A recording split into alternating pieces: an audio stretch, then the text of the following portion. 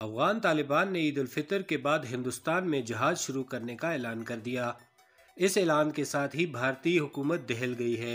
इतलात के मुताबिक अफगान तालिबान ने एक पैगाम में ईद उल फितर के बाद बाकायदा हिंदुस्तान में जहाज़ शुरू करने का ऐलान कर दिया है। इतलात हैं कि ऐलान के साथ ही भारत पर खौफ के साय उमड़ रहे हैं।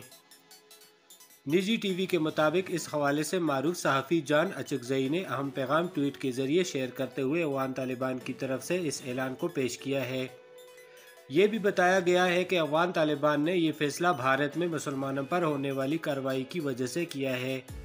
निजी टीवी के मुताबिक अवान तालिबान ने यह फैसला भारत में आरएसएस, बीजेपी और ऐसे ही दीगर तंजीमों की तरफ़ से मुसलमानों और दूसरी अकलीतों पर बेतहाशा मजालम ढाने की वजह से किया है। इसके अलावा भारत की तरफ़ से कश्मीरों पर किए जाने वाले मुजालिम का बदला भी लेने का ऐलान किया गया है। आज इंटरव्यू देते हुए तालिबान के मुजाकराती वफद के चीफ ने कहा है कि भारत ने हमेशा मनफी किरदार अदा किया है। इस ऐलान में ये भी वाज पैगाम दिया गया है कि अफगान तालिबान भारत में ईद के बाद बाकायदा जहाज़ शुरू करेंगे। दूसरी जानब, मलेशिया ने भारत से रिकॉर्ड एक लाख टन चावल दरामद करने का माहा कर लिया है, जो रवा माह और अगले एक माह के दौरान मुकम्मल हो जाएगा।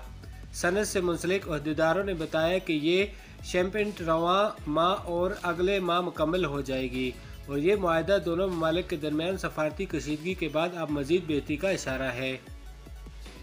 मलेशिया ने भारत से गुजशत पाँच बरसों के मुकाबले में रवा साल चावल की खरीदारी में तकरीबन दुगना इजाफा कर लिया है। जबकि दीगर बरामद कुनंदगान म्यांमार, वियतनाम और कम्बोडिया ने कोरोना वायरस के बहरान के दौरान चावल को अपने लिए जहीरा करने की खातिर बरामद पर आर्जी पाबंदी आयद कर दी है।